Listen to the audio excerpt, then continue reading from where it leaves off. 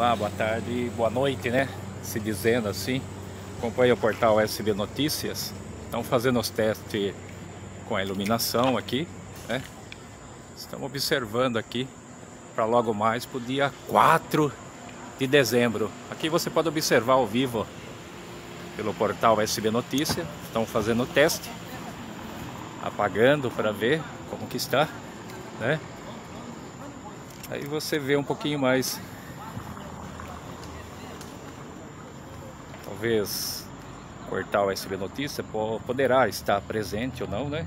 Mas vamos mostrando aqui os testes que estão fazendo com a iluminação. Você conseguiu ver um pouco aqui da iluminação, né?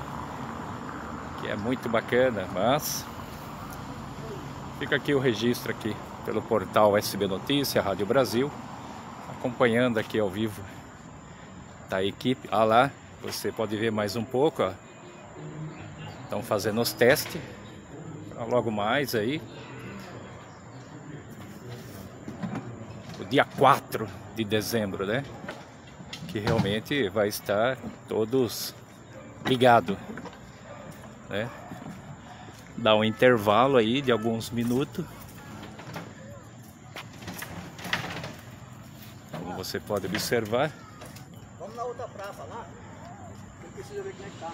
Deu certo aí, chefe?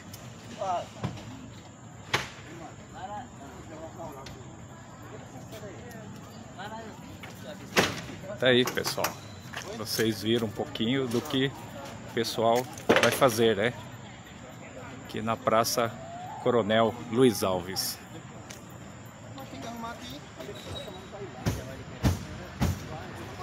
A Prefeitura de Santa Bárbara está fazendo isso daí, né? Vocês conseguiram ver um pouco do que será, né? Não dá para mostrar um todo porque é teste ainda, né? Eles vão ter que sair daqui, parece, para ir em um outro ponto nesse momento. Mas fica aí registrado aí pelo portal SB Notícia. Por alguns segundos vocês viram a iluminação. Como será?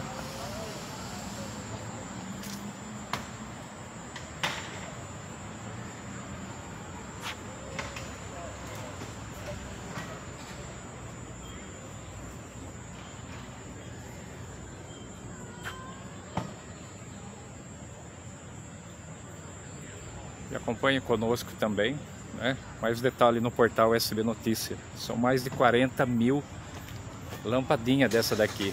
Muito chique, né?